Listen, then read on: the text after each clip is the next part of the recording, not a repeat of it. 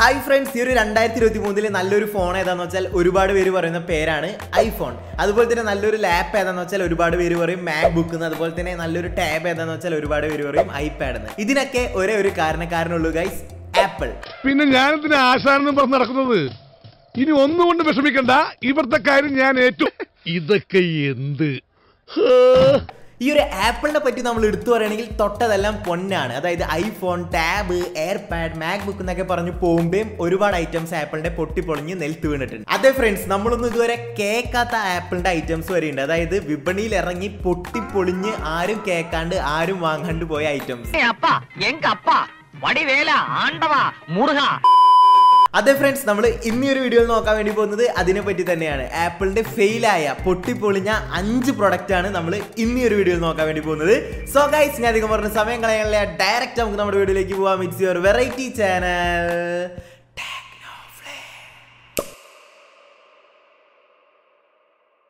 friends number five മെക്കന്തോഷ് T V അതെ friends ആയിരത്തി തൊള്ളായിരത്തി തൊണ്ണൂറ്റി മൂന്നില് ആപ്പിൾ പുറത്തിറക്കിയ ഒരു ഐറ്റമാണ് മെക്കന്തോഷ് ടി വി എന്ന് പറയുന്ന ഒരു ഐറ്റം ഇതിന്റെ പ്രത്യേകത എന്താണെന്ന് വെച്ച് കഴിഞ്ഞിട്ടുണ്ടെങ്കിൽ ഈ ഒരു മെക്കന്തോഷ് ടി വി നമുക്ക് പി സി ആയിട്ടും യൂസ് ചെയ്യാൻ പറ്റും അതുപോലെ തന്നെ ടി വി ആയിട്ടും യൂസ് ചെയ്യാൻ പറ്റും അതായത് മാറി മാറി യൂസ് ചെയ്യാം ചില സമയത്ത് ടി വി ആയിരിക്കും ചില സമയത്ത് പി സി ആയിരിക്കും உனக்கு தைரியம் இருந்தா என்ன சொல்றா அந்த அஞ்சு கொலையும் അതാണ് ഗൈസ് ഈ ഒരു മെക്കന്തഷ് ടി വിയുടെ ഏറ്റവും വലിയ പ്രത്യേകത. പക്ഷേ ഇത് വിപണിയിൽ ഇറങ്ങി കഴിഞ്ഞപ്പോൾ തന്നെ പൊട്ടിപ്പൊളിഞ്ഞു പോയി ഗൈസ് ഈ ഒരു ഐറ്റം പൊട്ടിപ്പൊളിയാനായിട്ട് രണ്ട് കാരണങ്ങളുണ്ട് ഗൈസ് ഒന്നെന്ന് വെച്ചാൽ ഇതിന്റെ പ്രൈസ് അതായത് രണ്ടായിരം ഡോളർ ആയിരുന്നു ആ ഒരു ടൈമിൽ ഈ ഒരു മെക്കന്തോഷ് ടിവിയുടെ പ്രൈസ് അതായത് നോർമൽ ഒരാൾക്ക് അഫോർഡ് ചെയ്യാൻ പറ്റാത്ത ഒരു പ്രൈസ് ആയിരുന്നു ഈ ഐറ്റത്തിന് അത് ഒന്നാമത്തെ കേസ് രണ്ടാമത്തെ കേസ് എന്ന് വെച്ച് കഴിഞ്ഞിട്ടുണ്ടെങ്കിൽ ഇതിൽ നമുക്ക് at a time T V ആയിട്ട് സിനിമ കാണാൻ പറ്റത്തില്ല. അതുപോലെ തന്നെ കമ്പ്യൂട്ടറിൽ വർക്കും ചെയ്യാൻ പറ്റത്തില്ല. രണ്ടും സെപ്പറേറ്റ് ആയിട്ടേ പറ്റത്തുള്ളൂ. അതായത് പി സിയിലത്തെ വർക്ക് ചെയ്തുകൊണ്ടിരിക്കുന്ന സമയത്ത് പി സി മാത്രം ടി വി കണ്ടുകൊണ്ടിരിക്കുന്ന സമയത്ത് ടി വി മാത്രം.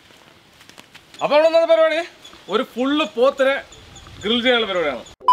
ആപ്പിൾ ഈ ഒരു ഐറ്റം ഇറക്കലും കട്ടയ്ക്ക് ഫ്ലോപ്പായി ഏറെക്കുറെ പതിനായിരത്തിന് താഴെ പ്രൊഡക്റ്റ് മാത്രമേ മെക്കന്തോഷ് ടി വി എന്ന് പറയുന്ന ഈ ഒരു ടി വി വിറ്റുപോയുള്ളൂ.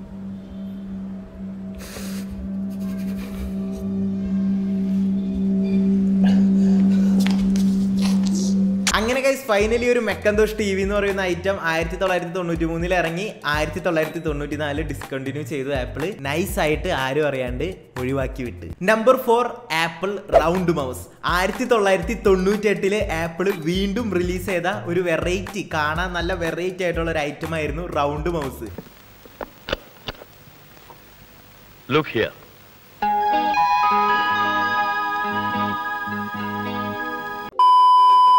Guys ഇത് റിലീസ് ചെയ്തെന്ന് വെച്ച് കഴിഞ്ഞിട്ടുണ്ടെങ്കിൽ ആപ്പിളിന്റെ തന്നെ ഐമാക് ജി ത്രീ എന്ന് പറയുന്ന ഒരു പ്രത്യേക മോഡലിന് വേണ്ടിയിട്ടായിരുന്നു ഒരു സൗണ്ട് മൗസ് ഇറക്കിയത്. സംഭവം ഇറങ്ങിയപ്പോ തന്നെ ഫ്ലോപ്പ് ആയി. കാരണം വേറെ ഒന്നല്ല ഗൈസ് നിങ്ങൾക്ക് കാണുമ്പോൾ തന്നെ മനസ്സിലാവും. ഏറെക്കുറെ റൗണ്ട് ഷേപ്പ് ഏറെക്കുറെ അല്ല. മൊത്തത്തിൽ റൗണ്ട് ഷേപ്പിലാണ് ഈ ഒരു മൗസ് ഇരിക്കേണ്ടത് ഈ ഒരു ഒറ്റ ഷേപ്പ് കൊണ്ട് മാത്രമാണ് ഗൈസ് ഈ ഒരു ഐറ്റം ഫ്ലോപ്പ് ആയത്. കാരണം എന്താണെന്ന് വെച്ച് കഴിഞ്ഞിട്ടുണ്ടെങ്കിൽ ഒരുപാട് പേർക്ക് ഒരുപാടല്ല ഭൂരിഭാഗം പേർക്ക് ഈ ഒരു മൗസ് യൂസ് ചെയ്യുമ്പോൾ ഡിസ്കംഫർട്ട് ആയിട്ട് തോന്നി. അതായത് ഉപയോഗിക്കുമ്പോൾ കൈ വേദന എടുക്കുന്നു. അതുപോലെ തന്നെ മര്യാദയ്ക്ക് ഉപയോഗിക്കാൻ പറ്റുന്നില്ല. ഇങ്ങനത്തെ ഒരുപാട് ഇഷ്യൂസ് ഒക്കെ വന്നു കഴിഞ്ഞപ്പോൾ ഗൈസ് രണ്ടായിരത്തി തന്നെ നൈസ് ആയിട്ട് ഈ ഒരു മൗസ് അവർ ക്യാൻസൽ ചെയ്തു. അതായത് ഡിസ്കണ്ടിന്യൂ ചെയ്തു. ഈ ഒരു ഐറ്റം അതേ ഗൈസ് പതിനായിരത്തിന് താഴെ മാത്രം വിറ്റു പോയുള്ളൂ.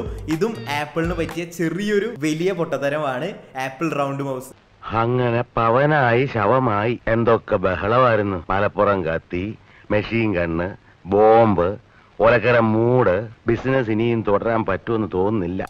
Number three Apple Newton message pad അത് ഫ്രണ്ട്സ് ആയിരത്തി തൊള്ളായിരത്തി തൊണ്ണൂറ്റി മൂന്നിൽ ഇറങ്ങിയ മറ്റൊരു ഐറ്റം ആയിരുന്നു ആപ്പിളിന്റെ ആപ്പിൾ ന്യൂട്ടൺ മെസ്സേജ് പാഡ് എന്ന് പറഞ്ഞിട്ടുള്ള ഐറ്റം ഇതൊരു ബ്ലാക്ക് ആൻഡ് വൈറ്റ് സ്ക്രീനിലുള്ള ഒരു ഐറ്റം ആയിരുന്നു. ഇതിൽ നമുക്ക് ടെക്സ്റ്റ് മെസ്സേജ് അയക്കാൻ പറ്റും. അതായത് ഇമെയിൽ ചെയ്യാൻ പറ്റും അതുപോലെ തന്നെ സ്കെച്ച് ചെയ്യാൻ പറ്റും.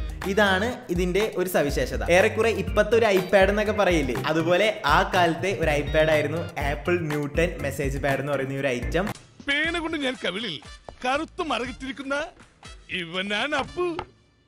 മറകില്ലാത്തവൻ അച്ചു. ഇതിന് പറ്റിയ പ്രശ്നം എന്താണെന്ന് വെച്ച് കഴിഞ്ഞിട്ടുണ്ടെങ്കിൽ സംഭവം ഇത് മെയിൻ ആയിട്ട് ഇവർ ഹൈലൈറ്റ് ചെയ്തത് ഇമെയിൽ അയക്കാൻ വേണ്ടിയിട്ടായിരുന്നു. പക്ഷെ പ്രശ്നം എന്താണെന്ന് വെച്ച് കഴിഞ്ഞിട്ടുണ്ടെങ്കിൽ ഇതിൽ ടൈപ്പ് ചെയ്യേണ്ടൊന്നും ശരിയാവുണ്ടായിരുന്നില്ല. അതുപോലെ തന്നെ സ്കെച്ച് ചെയ്യേണ്ടൊന്നും പെർഫെക്റ്റ് ആയിട്ട് കിട്ടുന്നുണ്ടായിരുന്നില്ല. അവിടെ ചെറിയ ചെറിയ ബഗ്ഗുകളും ഇഷ്യൂകളും ഉണ്ടായിരുന്നു. അതുപോലെ തന്നെ എപ്പോഴും നമ്മൾ പറഞ്ഞ പോലെ തന്നെ ഇതിന്റെ പ്രൈസ് ഓവർ പ്രൈസ് ആയിരുന്നു. ഏറെക്കുറെ തൊള്ളായിരം ഡോളർ ആയിരുന്നു ഈ ഒരു ബ്ലാക്ക് ആൻഡ് വൈറ്റ് സാധനത്തിന്റെ അന്നത്തെ വില. അതുകൊണ്ട് തന്നെ ഗൈസ് ഇതും നൈസ് ആയിട്ട് അങ്ങ് പൊട്ടിപ്പൊളിഞ്ഞു. നല്ല രീതിക്ക് ഫ്ലോപ്പായി അതുകൊണ്ട് തന്നെ ആപ്പിൾ ആരോടും പറയാണ്ട് മിണ്ടാണ്ട് നൈസ് ആയിട്ട് ഈ ഐറ്റം ഡിസ്കണ്ടിന്യൂ ചെയ്തു. ഇനി രക്ഷയില്ല. തിന്ന ബിരിയാണി പോലും ദഹിച്ചു പോയി. Number two Apple six plus രണ്ടായിരത്തി പതിനാലിൽ ആപ്പിൾ നാട്ടാരെ മൊത്തം വിളിച്ചു വരുത്തി ലോഞ്ച് ചെയ്ത ഒരു ഐറ്റം ആയിരുന്നു guys Apple six plus more proud to show it to you now.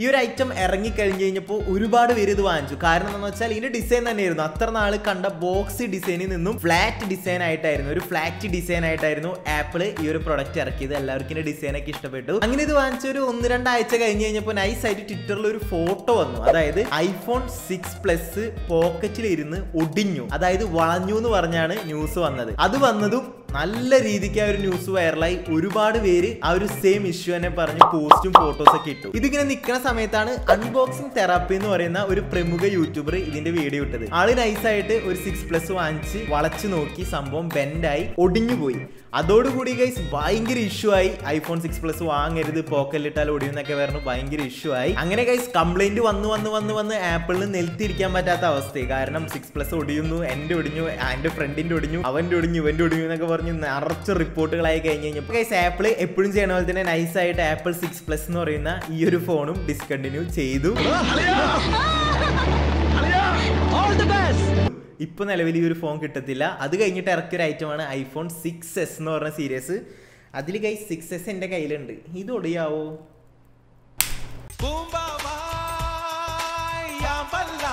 number one Apple Pippin guys നിങ്ങൾ എപ്പോഴെങ്കിലും ചിന്തിച്ചിട്ടുള്ള ഒരു കേസായിരിക്കും. എന്തുകൊണ്ട് ആപ്പിൾ എന്ന് പറയുന്ന കമ്പനി ഗെയിമിങ്ങിന് വലിയ ഇമ്പോർട്ടന്റ് കൊടുക്കുന്നില്ല എന്ന് കാരണം എന്ന് വെച്ചാൽ നമുക്കൊരു ഗെയിം കളിക്കണം. അല്ലെങ്കിൽ നമുക്കൊരു സ്ട്രീം ചെയ്യണമെങ്കിൽ നമ്മൾ എല്ലാവരും ഒരു പി സിയെ വാങ്ങിക്കത്തുള്ളൂ. അല്ലാതെ നമ്മൾ ഐമാക്കോ മാക്ബുക്ക് പ്രോയോ വാങ്ങിക്കത്തില്ല. അതിന്റെ കാരണം എന്താണെന്നറിയോ? ആപ്പിൾ പണ്ട് പണ്ട് എന്ന് പറയുമ്പോൾ ഒരുപാട് ബാക്കിക്ക് വേണം ഒരുപാട് ബാക്കിക്ക് വേണം എന്ന് പറയുമ്പോൾ ഏകദേശം ആയിരത്തി തൊള്ളായിരത്തി തൊണ്ണൂറ്റാറിൽ പിപ്പിൻ എന്ന് പറഞ്ഞിട്ടുള്ള ഒരു ഐറ്റം പുറത്തിറക്കിയിട്ടുണ്ടായിരുന്നു. സംഭവം ഗൈസ് നമ്മുടെ പ്ലേ സ്റ്റേഷനും എക്സ്പോസും പോലത്തെ ആ ഒരു ടൈമിലത്തെ ഒരു കൺസോൾ ആയിരുന്നു. ആപ്പിൾ ആ ഒരു ടൈമിൽ ബെൻഡായി എന്ന് പറയുന്ന ഒരു കമ്പനിയായിട്ട് കൊളാബ് ചെയ്താണ് ഈ ഒരു പിംപിൻ ഇറക്കിയത്. ആപ്പിൾ പിംപിൻ എന്ന് പറയുന്ന ഒരു കൺസോളും കൂടി ഇറക്കിയിട്ട് ഗെയിമിംഗ് രംഗവും നൈസ് ആയിട്ട് ആപ്പിളിന്റെ ഒപ്പം ആക്കാന്നുള്ള ഒരു മൈൻഡ് ആയിരുന്നു. പക്ഷെ ആ ഒരു ടൈമിൽ ആപ്പിളിന്റെ ഓപ്പോസിറ്റ് ആയിട്ട് നിന്നിരുന്നത് നിന്റൻഡോ എന്ന് പറയുന്ന വലിയൊരു കൺസോൾ അല്ലെങ്കിൽ ഗെയിമിംഗ് കൺസോൾ കമ്പനി ആയിരുന്നു. ചുമരുമൊരു ഹാൾ അതൊന്നും വക വെക്കാണ്ട് ആപ്പിൾ നൈസായിട്ട് ഒരു പിമ്പിങ് അങ്ങോട്ട് ഇറക്കി വിട്ട് ഇറക്കി വിട്ടത് മാത്രമേ ഓർമ്മയുള്ളൂ. പിന്നെ ആരും ഇത് വാങ്ങിക്കാനുണ്ടായിരുന്നില്ല. പൊട്ടി പൊളിഞ്ഞ് നശിഞ്ഞു പോയി. കാര്യം എന്താന്ന് വെച്ചാൽ ഒന്ന് ഇതിന്റെ കൺട്രോളറാണ് അതായത് ഇതിന്റെ ജോയിസ്റ്റിക് ആണ്. ആ സമയത്തത്തെ ജോയിസ്റ്റിക് എന്ന് വെച്ചാൽ നിൻഡോന്റെ ഒക്കെ കാണാൻ കുറച്ച് ഭംഗിയുണ്ടായിരുന്നു. പക്ഷെ ആപ്പിളിന്റെ എന്തോ പഴം പഴം പോലെയാണ് ഗൈസ് ആപ്പിളിന്റെ ഈ ഒരു ജോയിസ്റ്റിക് ഇരുന്ന് വെച്ചത്. പിന്നെ ഫ്രണ്ട്സ് ഈ ഒരു പിംപിം പൊട്ടാനുള്ള വേറൊരു കാര്യം എന്താണെന്ന് വെച്ച് കഴിഞ്ഞിട്ടുണ്ടെങ്കിൽ ഇതിന്റെ പ്രൈസ് ആയിരുന്നു. ഏറെക്കുറെ അറുന്നൂറ് ഡോളർ ആയിരുന്നു ഈ ഒരു കൺസോളിന്റെ ആ ഒരു ടൈമിലത്തെ പ്രൈസ് ആ ഒരു സമയത്ത് ഇതിന്റെ ഓപ്പോസിറ്റ് നിന്ന നിന്റെ സിക്സ്റ്റി ഫോറിന്റെ പ്രൈസ് എത്രയെന്ന് വെച്ച് കഴിഞ്ഞിട്ടുണ്ടെങ്കിൽ വെറും ഇരുന്നൂറ് ഡോളർ അതുപോലെ തന്നെ ഒരു പിൻപിൻ പിൻ എന്ന് പറയുന്ന ഈ ഒരു കൺസോൾ പുതിയതായതുകൊണ്ട് തന്നെ ഇതിലധികം ഗെയിംസും കാര്യങ്ങളൊന്നും ഉണ്ടായില്ല. വളരെ കുറച്ച് ഗെയിംസ് മാത്രമേ ഇതിൽ ഉണ്ടായിരുന്നുള്ളൂ. അതുപോലെ തന്നെ ഇതൊരു ഇന്റർനെറ്റ് അവൈലബിൾ ഒരു കൺസോൾ ആയിരുന്നു. പക്ഷെ ആ ഒരു കാലഘട്ടത്തിൽ അതിൽ ഇന്റർനെറ്റ് ഒന്നും അധികം ആൾക്കാർ യൂസ് ചെയ്തിരുന്നില്ല. എല്ലാവരും ഫിസിക്കൽ ആയിട്ടുള്ള ഡിസ്ക് ഇട്ടായിരുന്നു ഗെയിം കളിച്ചുകൊണ്ടിരുന്നത് അതുകൊണ്ട് തന്നെ നിന്റോന്റെ ഒരുപാട് ഗെയിംസ് ഉണ്ടായിരുന്നു. അതുപോലെ തന്നെ അടിപൊളിയായിട്ട് കളിക്കാനും പറ്റുമായിരുന്നു. അതുകൊണ്ട് തന്നെ എല്ലാവരും സെലക്ട് ചെയ്തത് നിന്റോയാണ്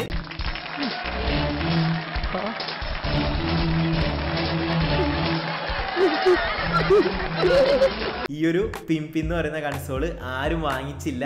ഇതും പതിനായിരത്തിന് താഴെ പ്രൊഡക്റ്റ് മാത്രം പോയുള്ളൂ. അപ്പോ പൊട്ടിപ്പൊളിഞ്ഞ ഒരു സെക്ഷനാണ് ആപ്പിളിന്റെ ഗെയിമിംഗ് സെഷൻ അതിനുശേഷം ആപ്പിൾ ഗെയിം ബേസ് ആയിട്ടുള്ള ഒരു സംഭവം കൊണ്ടുവന്നിട്ടില്ല ഇതുവരെ. മേ ബി ഭാവിയിൽ ചിലപ്പോൾ കൺസോൾ വന്നേക്കാം. ഇനി വന്നു കഴിഞ്ഞാൽ ചിലപ്പോൾ വേറെ ലെവലായിരിക്കും ആപ്പിൾ കൊണ്ടുവരാൻ പോകുന്നുണ്ട് എന്തൊക്കെ പറഞ്ഞാലും ഗൈസ് ആപ്പിൾ എന്നുള്ള കമ്പനി ഒരു ബ്രാൻഡ് ഉണ്ടാക്കിയെടുത്ത് കഴിഞ്ഞു ഓൾറെഡി ഇപ്പോൾ ഐഫോൺ ആയാലും മാക് ആയാലും ഐപാഡ് ആയാലും എയർപോഡ് ആയാലും അങ്ങനെ ആപ്പിളിന് ആപ്പിളിന്റെതായ ഒരു ലെവലുണ്ട് ഒരുപാട് പ്രൊഡക്റ്റ് ഫെയിൽ ആയിട്ടുണ്ടെങ്കിൽ കൂടി അതിന് കൂടുതൽ സക്സസ് തന്നെയാണ് എന്നും ആപ്പിളിന് അപ്പോൾ ഫ്രണ്ട്സ് ഇന്നത്തെ കൂടി ഇത്രേ ഉള്ളൂ. ജസ്റ്റ് ആപ്പിളിന്റെ ഫെയിൽ ആയ കുറച്ച് പ്രൊഡക്റ്റ് നിങ്ങളെ അറിയിക്കാൻ വേണ്ടി അല്ലെങ്കിൽ പരിചയപ്പെടുത്താൻ വേണ്ടിയാണ് ഒരു വീഡിയോ ചെയ്തത്. അപ്പോൾ നിങ്ങൾക്ക് എല്ലാവർക്കും ഒരു വീഡിയോ ഇഷ്ടമായിരിക്കും ഇഷ്ടമായി കഴിഞ്ഞാൽ നമ്മുടെ ചാനൽ ലൈക്കും ഷെയറും സബ്സ്ക്രൈബും ചെയ്ത് സപ്പോർട്ട് ചെയ്യണം. അതുപോലെ തന്നെ ഫ്രണ്ട്സിനൊക്കെ ഷെയർ ചെയ്ത് കൊടുക്കും. മാക്സിമം സപ്പോർട്ട് ചെയ്യണം. അപ്പോൾ അടുത്ത വീഡിയോയിൽ കാണുന്ന variety channel techno flip peace out bye